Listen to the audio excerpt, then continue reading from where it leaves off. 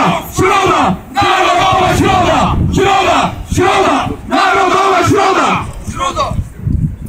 Chciałbym dodać, dzisiaj tutaj musimy jednoczyć się wszyscy, dlatego że Europa dąży do multikulturalizmu, czyli rozbicia społeczeństwa na drobne, drobne grupy, które łatwo jest kierować, łatwo je nim rzucać na lewo i prawo. My dzisiaj tutaj wszyscy musimy jednoczyć się przeciwko jednemu wspólnemu celowi. Cel Europy jest stworzyć Polskę multikulturalną. Polska była kiedyś multikulturalna w czasie, kiedy nam się to opłacało, kiedy, kiedy e, warto było. Przyjmowaliśmy antysemitów, semitów, kiedy, kiedy e, Europa e, zabijała ich. My przyjmowaliśmy wszystkich i również, również Polska e, zawarła pokój wieczysty z, ta, z tak zwanym e, os, osmiańskim e, państwem, czyli, czyli z dzisiejszą Turcją, z muzułmanami.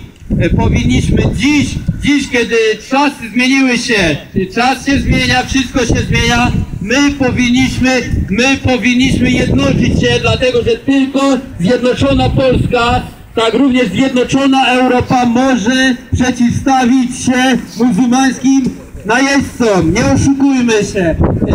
Kiedy, kłócimy się, czy to są najeźdźcy, czy uciekinierzy przed wojny, z, z wojny e, w swoim kraju, prawda jest taka, że oni idą tutaj na dżihad. Oni chcą nam tutaj stworzyć wojnę. Ich świętą wojnę, jaką mają zapisaną w Koranie. Koran według ich pisma należy interpretować dosłownie. Dosłownie znaczy, że mają zabijać niewiernych. My dla nich jesteśmy niewiernymi. W Koranie jest też napisane, że mają, mają prawo nas oszukiwać.